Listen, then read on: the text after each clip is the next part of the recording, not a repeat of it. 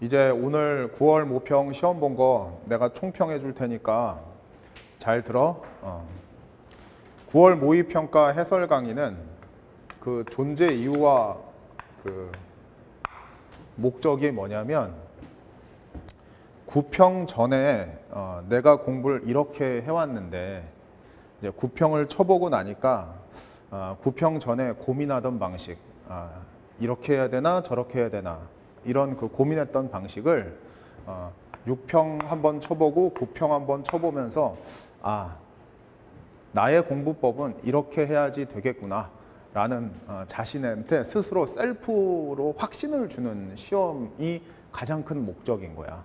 그것도 이제 우리나라에서도 6평으로 애들 한번 문제 보여주고 9평 보여주고 이제 본수능 보는 이유가 그거거든. 예비로 두 번 해보고 이제 시험 보는 거니까. 알았어? 어, 그러니까 그 목적 자체가 그런 거기 때문에 9평 시험 성적에 있어서 성적이 중요치 않은 거지. 그럼 성적이 중요치 않은 건 뭐냐? 수- 성적이 중요치 않고 그럼 뭐가 중요하냐면 문제풀이 방법. 이게 진짜 중요한 거야. 이게. 이 문제풀이 방법에 대해서 내가 좀 더 자세하게 얘기할 건데 우리나라에서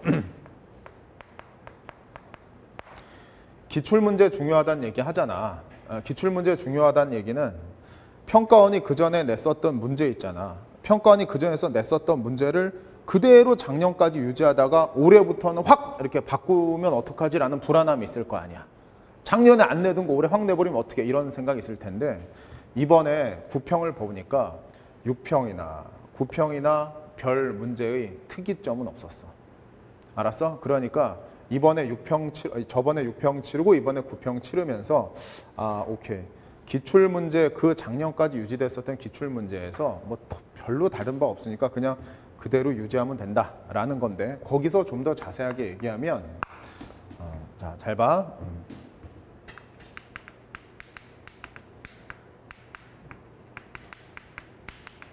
여기서 전체를 완벽하게 해석해야 문제를 푸는 건 아니다. 오케이? 어. 다시 전체를 완벽하게 해석해야 문제를 푸는 건 아니다. 이거를 다시 한번 이번 시험으로 좀 느꼈으면 좋겠어. 내가 매번 얘기를 하는 거지만 영어를 정말 잘하는 native 같은 경우는 그냥 그 문제에 나와 있는 걸 자, 문제가 나와 있으면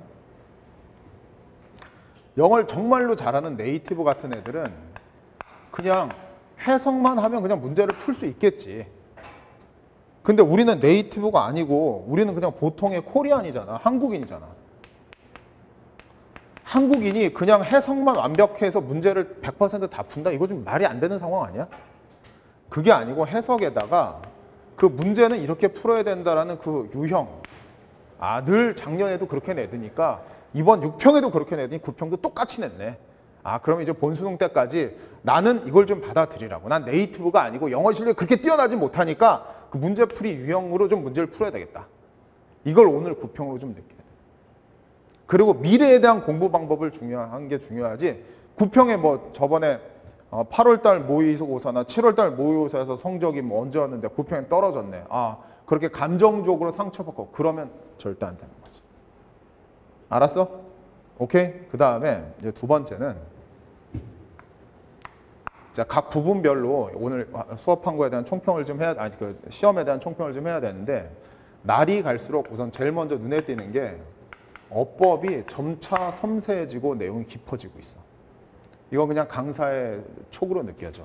옛날에는 사실상 어법이 한 문제 나오고 그렇게 대단한 어법 실력이 없어도 맞힐 수 있는 정도의 문제였는데 점점 어법 문제가 어려워. 오늘 같은 경우 그 준동사하고 관계사에 대한 복합적인 내용을 해야 되는 어법 내용이었잖아. 그래서 남은 기간 동안에 어법을 좀 공부를 좀 많이 해야 되고 그 다음에 두 번째 이 빈칸 문제 이 빈칸 문제에 있어서 빈칸 문제가 늘 나오는 것처럼 31, 32, 33, 34 이렇게 네 문제가 나왔잖아. 근데 역시 문제를 오늘 풀어보니까 대답해봐.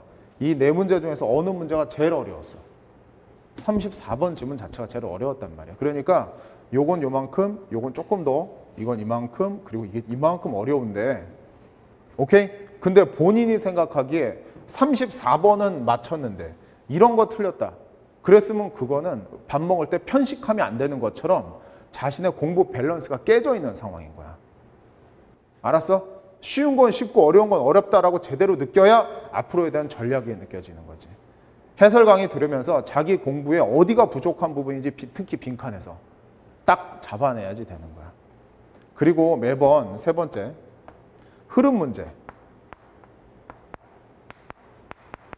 글의 흐름 문제하고 전체 흐름 문제하고 학생들은 어, 이번에 이제 전체 흐름이 특히 어려 어, 쉬웠지. 전체 흐름은 그냥 문장이 통째로 틀려버려가지고 그냥 쉬웠는데 글의 흐름 문제를 상당히 어렵게 느낀 학생들이 만약에 있었다면 글의 흐름을 그냥 해석으로 접근하니까 틀렸 어려웠던 거야.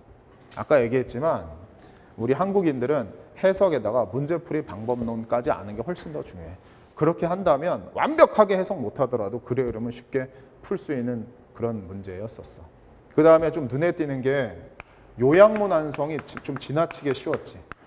요양문 완성 그냥 마지막 문제 하나 그냥 요양문 뭐 이런 정도였지. 오늘의 총평은 요 정도로 어, 보면 될 것 같아. 오케이.